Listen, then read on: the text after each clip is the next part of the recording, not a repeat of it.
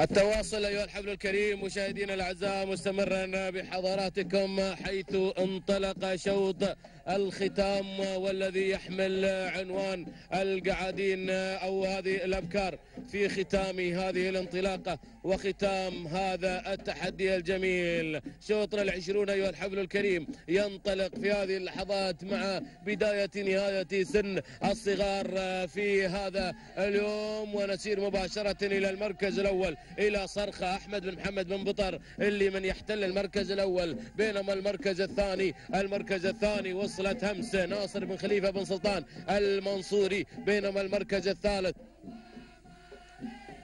المركز الثالث أيها الحفل الكريم من الجانب الآخر في هذه اللحظة شرف حمد بن راشد بشاوي الغفلي بينما المركز الرابع شعار بن بطحان يأتي مع الدكتور محمد بن سلطان بن قران المنصوري. لكن المركز الخامس هنا البتراء تحتل لياسر بن حمد بن عامر العمري يتواجد. المساء كذا كانت النتيجة مشاهدينا الأعزاء في انطلاقات هذا الشوط. ها هي الخمس المراكز الأولى المنطلقة حتى هذه اللحظة بناموس في هذا الشوط. أعود إلى البداية أعود إلى المسار ولكن أشوف المسار نحو بن الشاوي الغفلي هناك يتقدم مع وجود شرف. حمد بن راشد بشاوي الغفلي لا زال على المركز الأول ولكن أرى المركز الثاني همس همس همس لناصر بن خليفة بن سلطان المنصوري. يحتل المركز الثاني يحتل ثاني المراكز. أرى المركز الثالث من الجانب الآخر تسلل. من الجانب الآخر هناك؟ الله نور سين.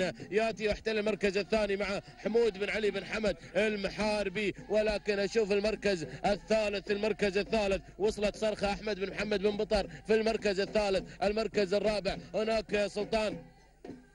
ياتي في المركز الرابع مشاهدينا الكرام من خلال هذا التحدي محمد بن سلطان بن قران. يقدم الدكتورة يقدم الدكتورة. وصلت الأسماء وصلت الأسماء ولكن اختلط الحابل في النابل. الكل يريد الإنجاز الكل يريد التحدي ولكن الختام عالي الغربية بدوا من خلال الانطلاقة الأولى. بدوا مع ضربة البداية. هل النهاية هنا تأتي مع هالي الغربية؟ ختامها مسك اذا بينما المركز الثاني. وصلت البتراء لياسر بن حمد بن عامر العمري يحتل المركز الثاني. المركز الثالث أشوف هناك تقدم في هذه اللحظات من خلال تواجد رسالة سيف بن نايع بن سالم الغفلي يحتل المركز الثاني. ولكن الدكتورة مسيطره الدكتورة محمد بن سلطان بن قران المنصوري البداية كانت غربية والختام غربي. تهانينا والناموس الهلالي غياثي على هذا الانتصار. المركز الثاني من خلال اللحظات رسالة سيف بن نايع بن سالم الغفلي يحتل المركز الثاني. مشاهدينا الأعزاء والمركز الثالث. المركز الثالث وصلت الطيارة خادم بن أحمد بن مطر الرميثي يتواجد على المركز الثالث المركز الرابع.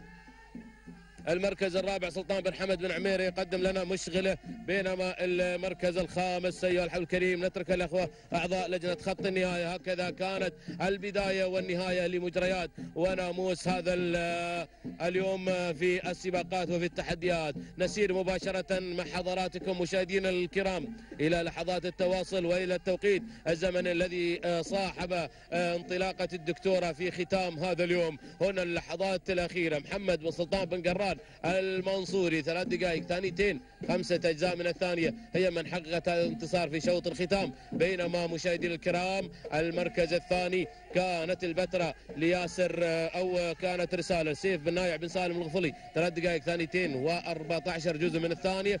المركز الثالث كانت الطيارة خادم بن أحمد بن مطر الرميثي لتحلق في ثالث المراكز بثلاث دقائق ثانيتين و20 جزءا من الثانية. هكذا كانت النتيجة أيها الحول الكريم مشاهدينا الأعزاء مصحوبة بالتوقيت الزمني للثلاثة المراكز الأولى.